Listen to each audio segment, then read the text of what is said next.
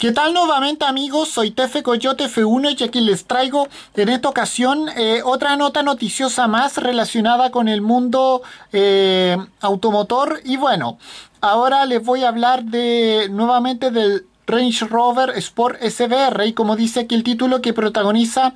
una persecución de altos vuelos en la nueva película de James Bond 007 eh, Sin Tiempo para Morir, o sea, como se le conoce en su idioma original No Time to Die. Bueno, como sabemos, la versión más deportiva de este, de este todoterreno va a tener una destacada aparición en la película, en la nueva cinta de James Bond, en una frenética escena que ahora se muestra detrás de las cámaras. Y bueno, hablemos un poco de aquello. Bueno, luego de un año de retraso por culpa de la pandemia de la, de la actual pandemia de COVID-19, eh,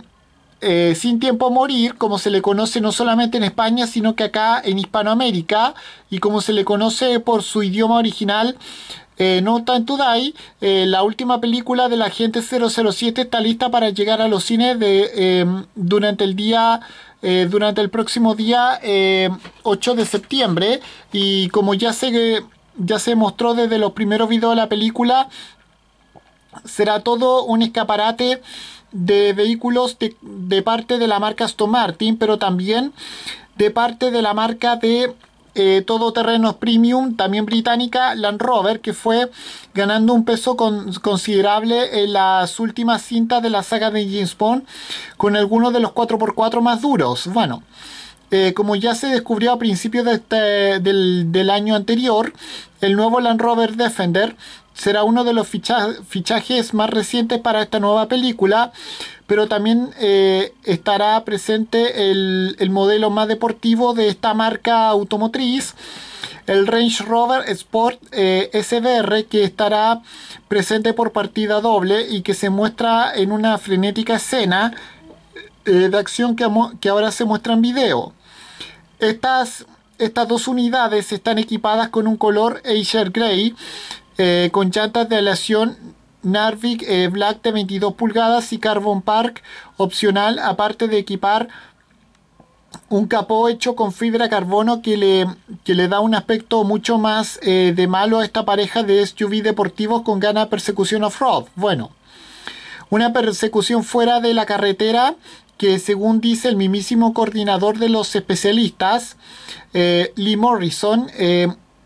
era una de las escenas que más ganas tenía de,